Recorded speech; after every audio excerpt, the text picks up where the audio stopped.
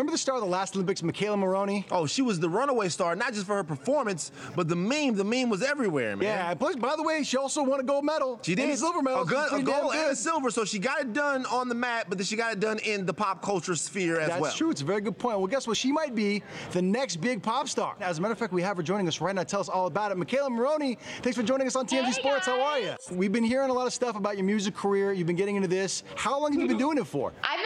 The last year. I've loved writing songs since I was like literally like eight years old. I would bring them to my mom and she would laugh at me. So I never thought it was something that I would do seriously, but I fell in love with it and I'm so excited and I'm gonna have some songs out in the next couple months. So I'm pretty pumped. What was sort of the the reason that you made the decision to switch from gymnastics, which you were super super successful Yeah. at, to go, go ahead and put your heart into the music full time? Girls with gymnastics, by the time they're 16, they've already had four different surgeries, their bodies Wow. are done, and that was me. Music helped me through that. Has anybody actually reached out? Have you reached out to anybody to maybe do a little collaboration or something? Um, my top two would definitely be like Drake and Jeremiah, and I think in the future that could happen. Wow. Interesting. Are you insinuating something? What, what are you What are you trying to say there, I'm not McKayla? insinuating anything. Well, I do you have a secret? I just dream big, and I, I know that it can happen. That that's just like life. If you believe it and you work hard for it, I mean, why can can it not? You're doing the non-press phase right now. What are you doing? I'm doing the face because I feel like there's something you